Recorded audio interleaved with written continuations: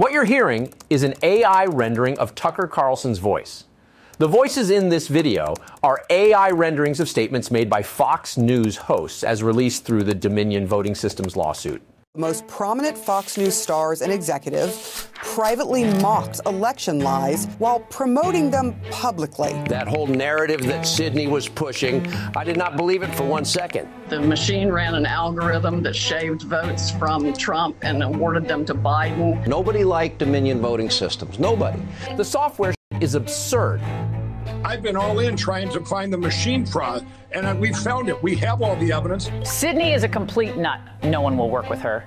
We have computer evidence of hundreds of thousands of votes being injected into the computer systems. Ditto with Rudy.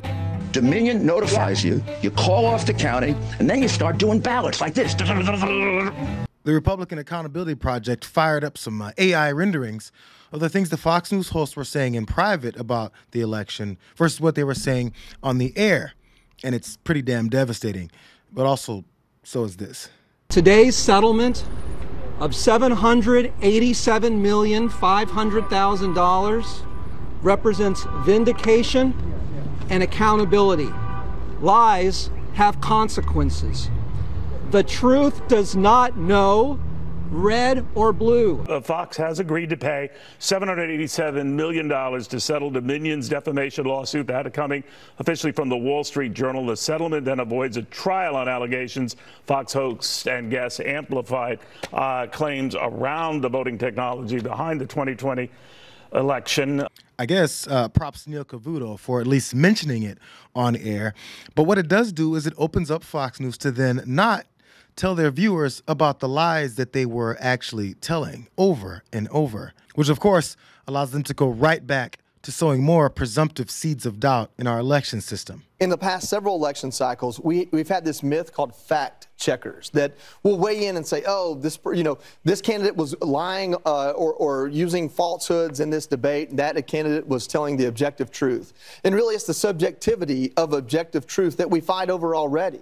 And so my fear is that somehow government or Democrats or those that are more aligned with the idea of technology having an intellectual role in our lives will say, oh, well, we have to hand over the objective truth to AI because they're the only ones that don't have partisanship in their truth, in their objectivity. And the moment that happens, it becomes weaponized. Ah, those damn fact checkers.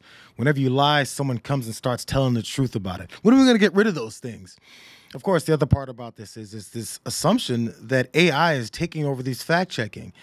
It doesn't have to make sense, it just has to scare enough of their viewers. The viewers that wish they could go back to the good old days of alternative facts before those pesky fact checkers showed up. You did yes, not answer did. the question of why the president asked the White House press secretary to come out in front of the podium for the first time and utter a falsehood. Why did he do that? It undermines the credibility of the entire White House press office no, on doesn't. day don't one. Be so, don't be so overly dramatic about it, Chuck. What it, it, you're saying it's a falsehood, and they're giving Sean Spicer, our press secretary, gave alternative facts to that. But the point remains alternative facts. And now, after losing seven hundred eighty-seven million dollars, will they now start telling the truth? This is their statement. We are pleased to have reached a settlement of our dispute with Dominion voting systems. We acknowledge the court's rulings find certain claims about Dominion to be false.